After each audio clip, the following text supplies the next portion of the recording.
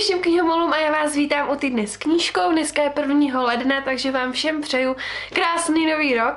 A jak vidíte, ve včerejším videu jsem říkala, že vždycky v neděli bude video, tak uh, už se k tomu dostávám a už to jakoby splňuju.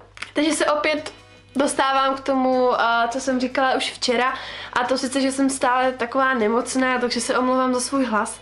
Vlastně a teďka to video natáčím v takové pohodě, protože kluci šli ven na procházku, takže je tady klid a já přesto, jako že jsem ještě nemocná, tak jsem ven nešla, ale už se těším, až konečně půjdu ven, protože už jsem asi týden nebyla venku na procházce a vážně mi to strašně chybí.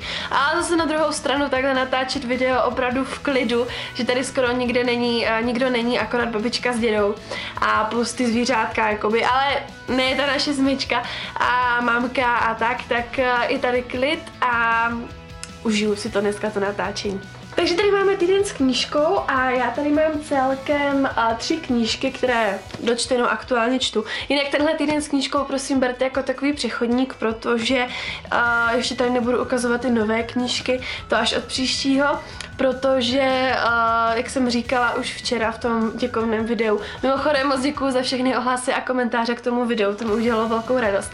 Ale jak už jsem říkala včera, tak vlastně mi chybí dotočit ty chvástačky a prosincová chvástačka ještě bude, takže uh, Během tohoto týdne bych strašně ráda dotočila všechny ty resty, plus lákačku na leden, abych to teda už jako měla hotové a mohla opravdu najet na takový ten svůj jakože očistný režim, protože uh, ty resty nechci mít a spíš naopak teďka se snažím mít jako ve všem pořádek a také 1. ledna, ale já to tak jako mám v povaze, i když to možná není vidět.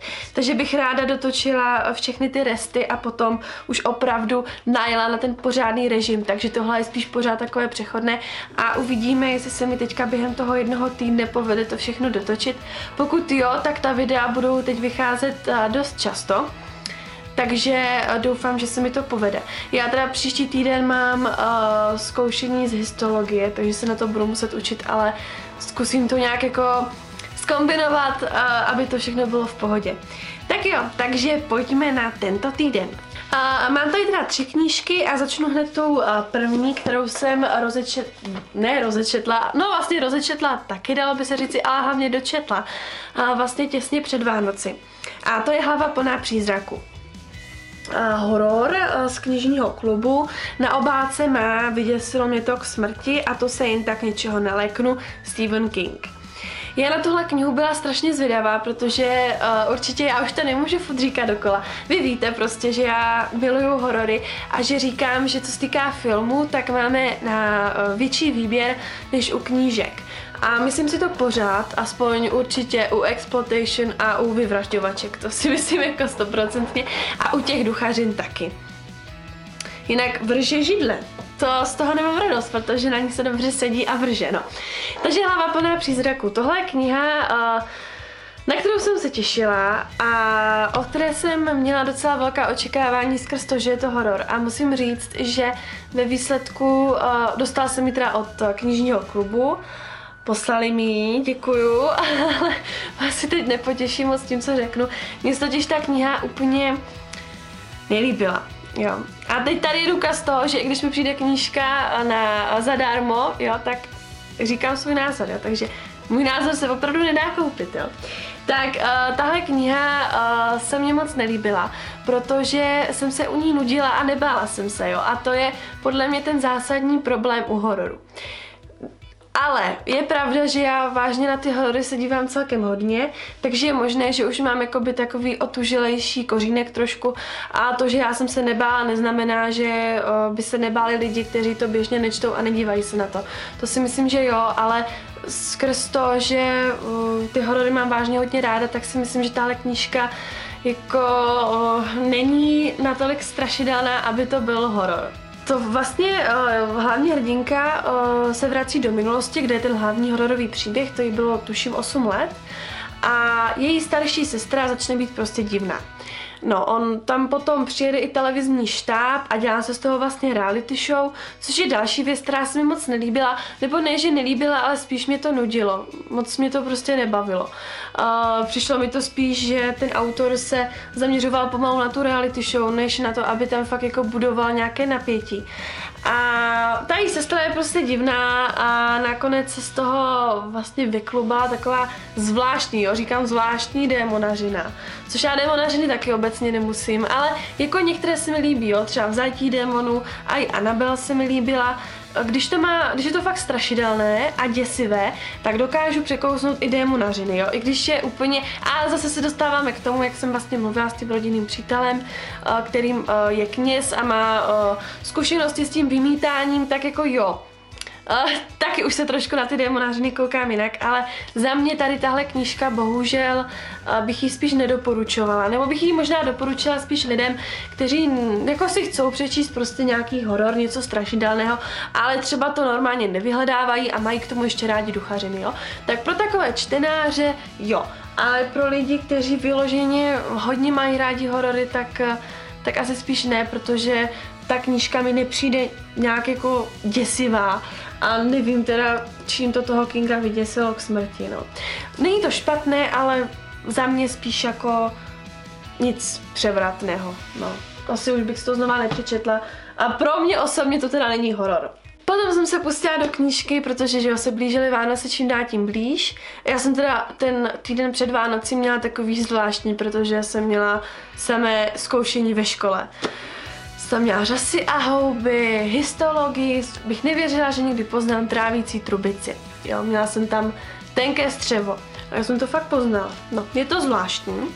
Ale potom jsem si řekla, no tak už se prostě uh, úplně odpoutu od školy, od všeho a jdu si užít vánoční atmosféru. No a k tomu samozřejmě nejen, že jsou potřeba nějaké super filmy, což teda tenhle rok jsem měla štěstí na vážně výborné filmy, ale i nějaká vánoční knížka uh, s takovou tou romantickou, vánoční, zasněženou atmosférou. Podle mě je super. Takže jsem si vzala knížku Vánoce po francouzsku, kterou přečetla už i moje mamka. A takže na ní mám takový double názor, protože jsme se o ní celkem hodně bavili. Jak když jsem tohle knížku četla, tak eh, jsem byla překvapená trošku, protože uh, to není takový ten typický vánoční příběh, jak uh, jako slibuje obálka. Ta knížka vypadá tak sladce a tak typicky vánočně. Ta obálka je vážně krásná. Ale ve skutečnosti se za touhle obálkou skrývá spíš takový smutnější příběh, vážnější příběh.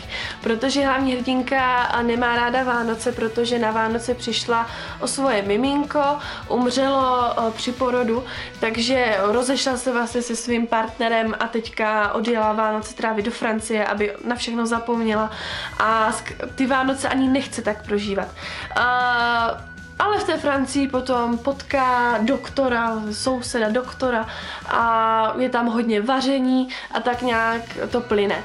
A já myslím, že tahle knížka já nevím, já když jsem ji četla, tak eh, jsem se místy nudila a říkala jsem si, že to jako není zase tak nic moc, ale když to beru zpětně, tak to byl takový hezký vánoční příběh. Spíš takovou jako trošku s takovým melancholickým námětem, ale jak řekla moje mamka, v životě není všechno veselé a na Vánoce taky nemusí být všechno veselé a na Vánoce nemusí být všichni šťastní.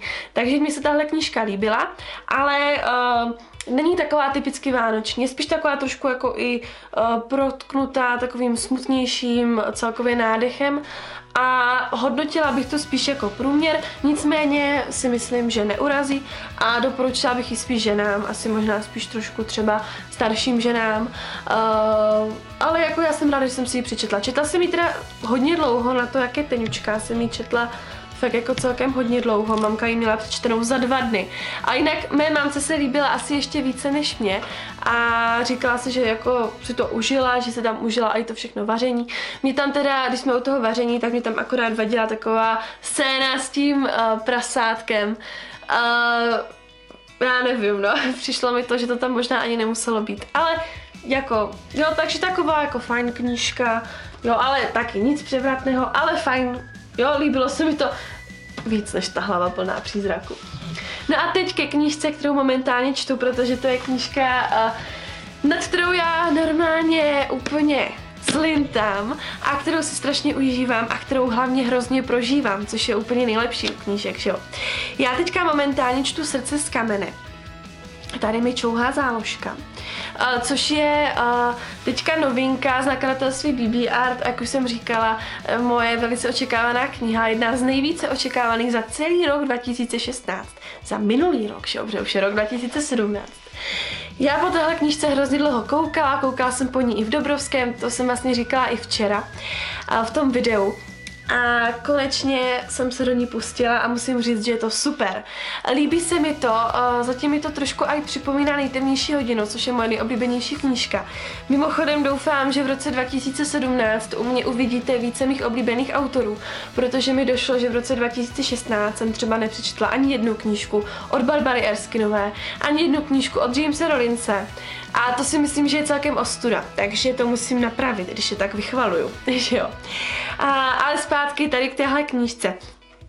Máme tady eh, teda dvě časové roviny, současnost a příběh eh, v druhé světové válce, přičemž na tu minulost eh, to je tady více.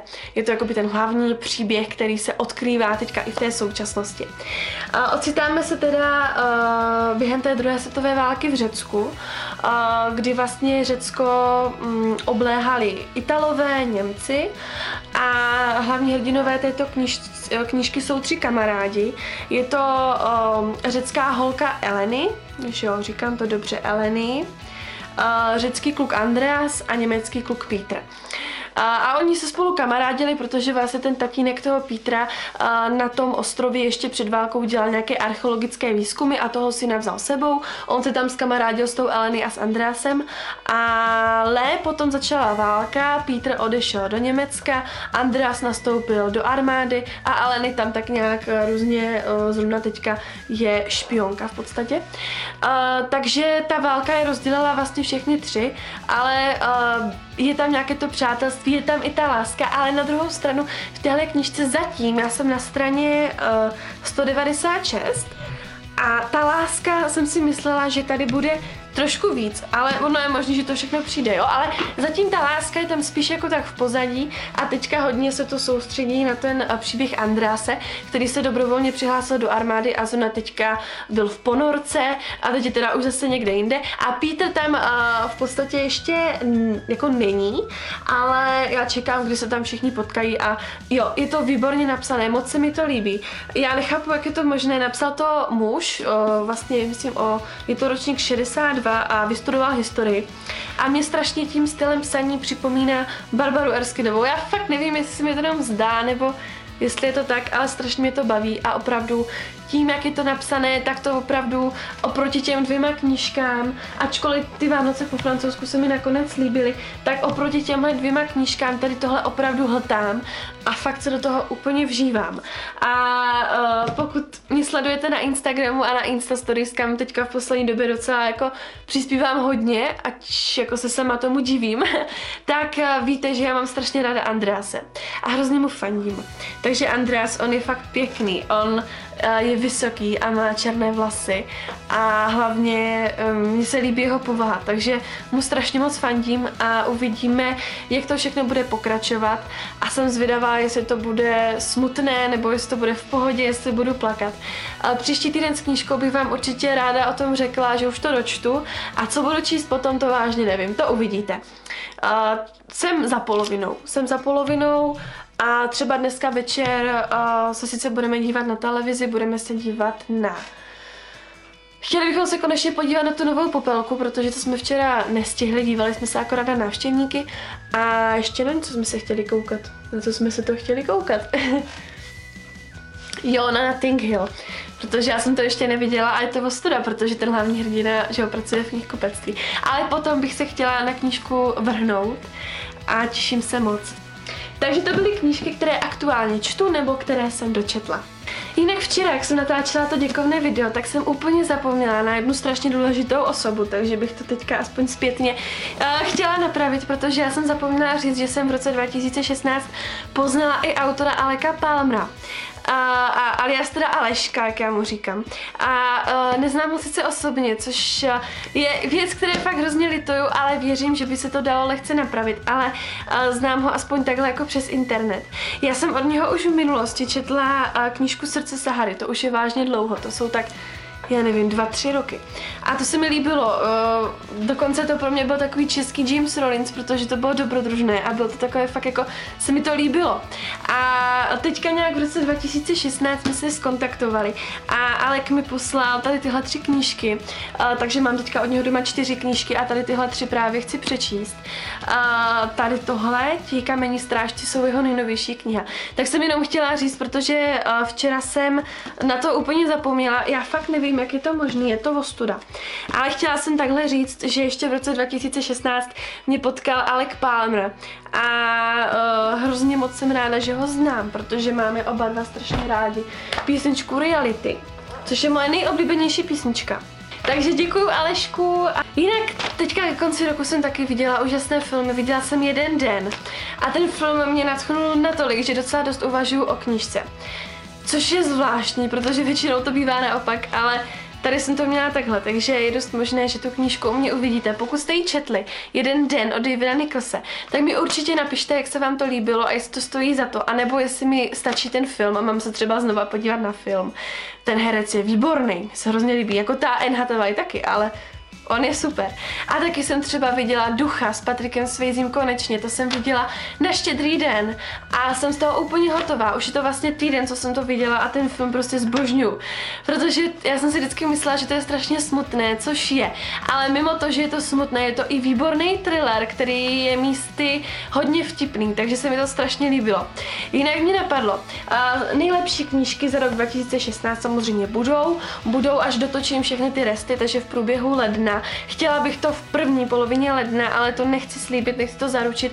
Napřed chci dotočit všechny ty resty. Ale pokud by vás zajímaly i nejlepší filmy za rok 2016 a stejně jako u knížek, nejsou to ty, co vyšly v roce 2016, ale ty, které jsem četla, viděla v roce 2016 a považuji je za nejlepší. Tak kdyby vás to zajímalo, tak bych to taky mohla udělat. Uh, v té knížky udělám stoprocentně a u těch filmů mi když tak napište, jestli by vás to bavilo nebo nebavilo. A včera jsem taky zapomněla Eh, říct, že pokud byste chtěli streamy, tak bych mohla dělat streamy, protože já jsem vlastně dělala jenom jeden, nebo jako dva, ale během jednoho dne, takže to říkám jako, že jeden stream ve svém životě a to sice na Halloween, takový ten nový halloweenský hororový stream. A mně se to hrozně líbilo, ale zase mi to přijde, že je to takové okrádání vašeho času, protože ty streamy jsou ještě delší než ta moje ukrutně dlouhá videa, takže pokud byste chtěli streamy, tak to mi taky napište, když tak mi napište do komentářů, jestli byste chtěli uh, ty nejlepší filmy a ty streamy a já se podle toho zařídím. Tak, a ještě jsem chtěla říct ohledně té školy, že uh, já jsem měla takový den, kdy bylo ještě takové špatné a měla jsem takovou špatnou náladu. A takový pocit prostě nezdaru, že je prostě toho hrozně moc a že to je takové prostě těžké, ale šla jsem do knihkupectví a mi to tam normálně spravilo náladu. Knihkupectví jsou opravdu zázračná a magická místa, já jsem to vlastně dávala i na Instagram, takže pokud někdy máte bolístku, nebo jako mm, třeba ne, jste takový demotivovaní, tak eh, skvěle se inspirace a taková celkově fresh síla a energie čerpá buď v knihkupectví, anebo u mě možná ještě líbí, když se jdu prostě projít ven. Tak jenom jsem vám chtěla říct, že knihkupectví může mnohdy pomoct i prostě po psychické stránce. Akorát se mi potom stalo, že mi ujeli dva autobusy a musela jsem čekat dvě hodiny v Brně, no. Ale to už je jako vedlejší odbočka, protože vlastně oni mi ujeli kvůli mé vlastní blbosti, protože byla tma a jel z dálky autobus a mě se prostě šestka uh, přeměnila v osmičku, takže jsem nebo spíš naopak, osmička v šestku asi. No, prostě se mi tam nějak domotala čísla a já nastoupila do špatného autobusu, tím pádem mi potom ujel ten dobrý autobus, takže jsem musela dvě hodiny čekat v Brně. No, ale tak v pohodě. Um, to je teda asi všechno. Uh, jo, je to všechno. Já, jo, akorát od příštího týdne se nelekněte. Uh, tento týden s knížkou končí takové to číslování 1, 2, 3, 4, 5, 6. Tenhle by myslím měl být 83, pokud se nepletu. A od příštího týdne přijde nové číslování, protože to budeme číslovat podle toho, jak půjdou týdny v roce. Jo, takže teďka vlastně eh, podle kalendáře, i když je dneska prvního, tak dneska končí ten poslední týden v roce 2016 a příští týden v neděli vlastně bude končit první týden v roce 2017, takže to budu uh, číslovat podle tohoto systému. Tak, já myslím, že tohle opravdu už bylo úplně všechno. Mějte se hezky, jak jsem říkala, teďka doufám, že během toho videa, uh, videa týdne uh, zmáknu všechna ta videa, to znamená chvástačky, plus ta lákačka, kterou už mám celou skoro připravenou, akorát uh, stačí jen to nejlehčí a to sice natočit a sestříhat to. Tož je, no, ta lákačka je taková náročnější, ale, ale pokud vás to baví, tak je to jasný, že to budu dělat. No, to by bylo všechno, mějte se hezky, já se budu moc těšit na vaše komentáře, protože je prostě zbožňuju. A mějte se hezky a uvidíme se dřív než za týden, ale za týden u týdne s knížkou. Ahoj!